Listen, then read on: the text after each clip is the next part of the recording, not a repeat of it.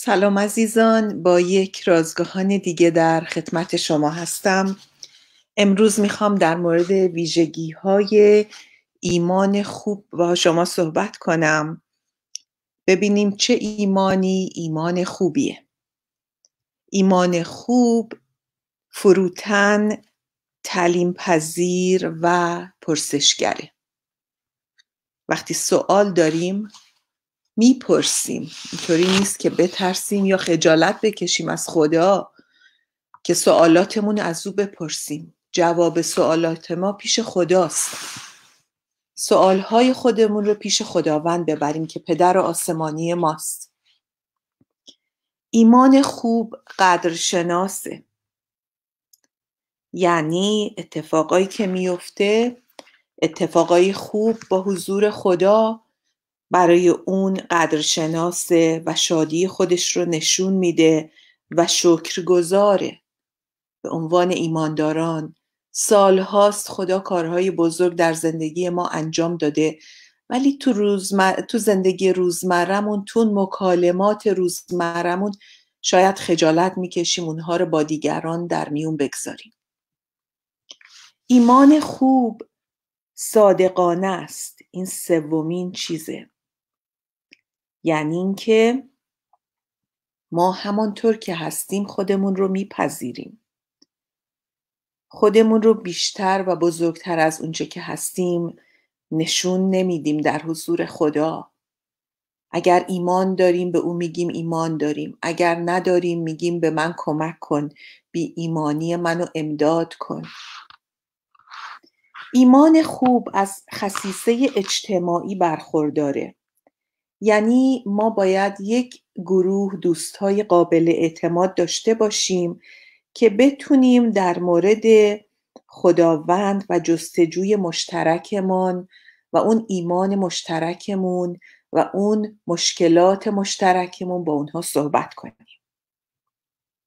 چقدر خوب دوستایی داشته باشیم که به اونها بگیم که چقدر در ایمانمون رشد کردیم.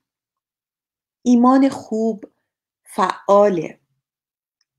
یعنی اینکه وقتی که ایمان داریم مطابق او هم اون هم زندگی می‌کنیم. ایمان خوب دشوار به دست میاد. یعنی اینکه از اون مرحله سادگی و ناآزمودگی ایمان اگه بخوایم در بیایم باید از کوره هایی هم عبور کنیم. ایمان خوب مبتنی بر رابطه است.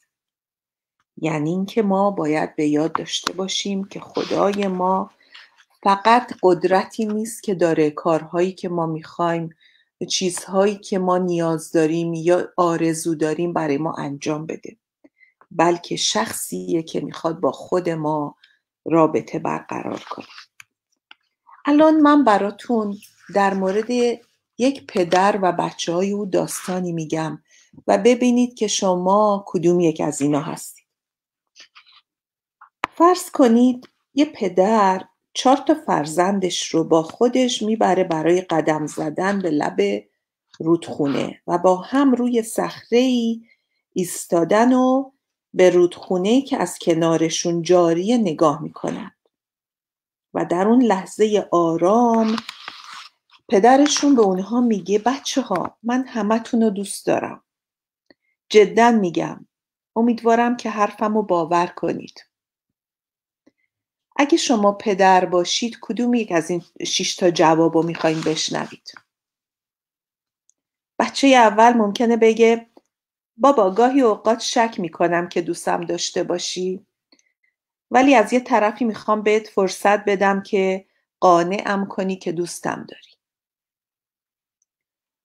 یا بگه که پدر میشه نتیجه آزمایش دی این ای منو خودتو نشونم بدی؟ من مطمئن نیستم که واقعا پدر من تو هستی. یا اینکه بگیم سومین جوابه بابا اگه واقعا دوستم داری پس برام یه ماشین نو بخر و اجازه بده از کارت اعتباریت هر چقدر خواستم استفاده کنم. یه خط تلفن مجزا هم می‌خوام داشته باشم و کلا زندگیمون یه طوری دیگه بشه. یا اینکه بچه ای هستید که میگه بابا میشه گفته تو یه بار دیگه تکرار کنی؟ من به قدری محو تماشای رودخونه بودم که نشنیدم چی گفتی. و این آخرین سواله. نه. آخرین سوال نیست. اگه راست میگی پس چرا هدیه تولد برادرم گرونتر از هدیه بود که سال قبل برای روز تولدم خریدی؟ تو که می‌دونی من حواسم به این چیزا هست.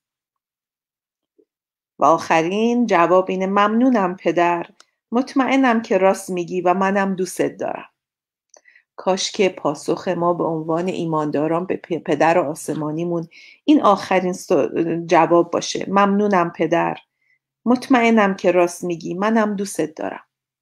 ولی اون سوال های جواب های دیگه هم اشتباه نیستن و فراموش نکنیم. ما می‌تونیم سوال کنیم از پدرمون. ما می‌تونیم شکامون به حضور اون بیاریم.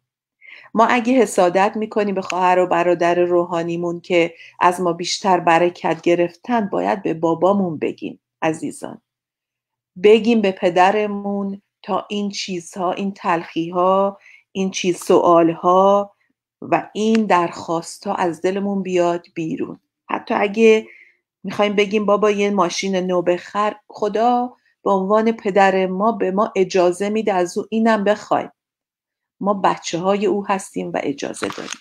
خداوندا تو با این بخش از کلامت با قلب های ما حرف بزن خداوندم و ما رو یک گام دیگه به خودت نزدیکتر کن در این پنج دقیقه که تونستیم در حضور تو باشیم. به نام عیسی مسیح خداوند میطلبم. آمین.